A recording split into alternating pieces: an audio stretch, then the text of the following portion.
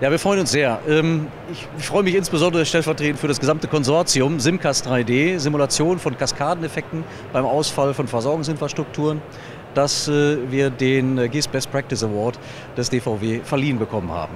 Und ähm, das Projekt ist ein großes interdisziplinäres Projekt, an dem viele Partner der TU Berlin, aber auch der Industrie ähm, aus dem Bereich Geoinformationssysteme, aber aus dem Bereich Soziologie äh, teilgenommen haben, gemeinsam mit den Versorgern in Berlin, das heißt also mit den Wasserversorgern, mit den Stromversorgern, Gasversorgern, Fernwärmeversorgern.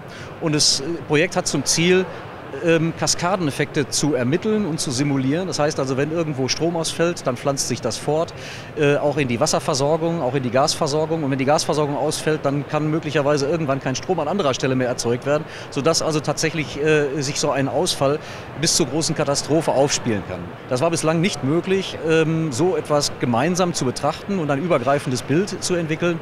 Das haben wir getan mit dem Projekt Simcast 3D. Wir haben das allerdings auf zwei Ebenen getan. Einerseits eben aus der Sicht der Soziologie, die sich also angeguckt haben, wie funktionieren Kommunikationsstränge bzw. wo klemmt es bei der Kommunikation, wenn tatsächlich solche Kaskaden auftreten und welche Effekte können dann da auftreten. Und auf der anderen Seite haben wir es auch von der Seite der Geoinformation, ähm, des Geoinformationswesens her betrachtet, was können wir eigentlich erstens nutzen, um ein gemeinsames Lagebild äh, darzustellen, indem wir also die verschiedenen Ausfälle gleichzeitig äh, darstellen und auf der anderen Seite, wie können wir die Netze so simulieren und modellieren, dass wir tatsächlich genau diesen Ausfall ähm, rohrleitungsscharf oder leitungsscharf simulieren können. Das heißt also, in dem Moment, wo irgendwas ausfällt, wird durch den Simulator tatsächlich propagiert, was ausfällt. Dadurch, dass wir das Ganze mit dem dreidimensionalen Stadtmodell von Berlin gekoppelt haben, haben wir auch die Möglichkeit gehabt, erstens äh, interaktive Visualisierung dazu zu fügen und auf der anderen Seite Abschätzungen zum Beispiel darüber zu machen, wie viele Personen sich zu einer Uhrzeit in einem Haus aufhalten,